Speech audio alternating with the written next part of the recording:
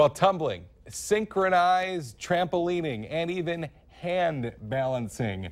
It's an amazing show. Of course, we have to be talking about the FM Acro team. American Gold Gymnastics is putting on a show this Sunday and giving us a peek at the performance is the Valley Today's Christy Larson joining us live from their gym. Good morning, Christy. Good morning. Yes, and I'm here with Shannon. We still have a few people from the FM Acro team still with us this morning, and we've gotten to see so many different levels of talents, and that's what we're going to get to enjoy in the show is so many different athletes all performing together. Absolutely, and another thing that makes American Gold special is that you know these aren't just the kids that are coming from the Fargo Moorhead area. You do have a lot of kids coming in from the whole community, um, outlying areas. Some of them drive 30, 45 minutes a day just to get here. Um, but again, it's spectacular. The things they do are incredible, and it's so much fun. And the energy they bring is just infectious. Uh, you can't help but smile.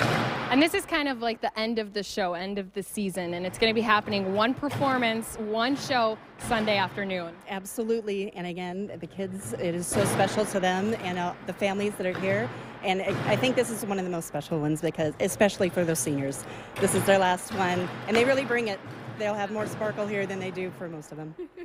and again, it's going to be happening Sunday afternoon. We do have a link on valleynewslive.com. Just click on that hot button for some ticket information. But I'm going to be handing Shannon some stuff because I know you guys want to see me do something, right, guys? Oh, yeah. Yes, we do. I thought it was great when she said it's, you know, their energy is infectious for sure. And I see now that, uh, okay.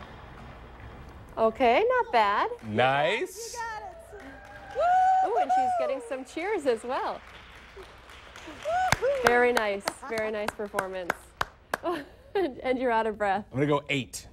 Eight. Yeah, I'll go with a nine. A nine.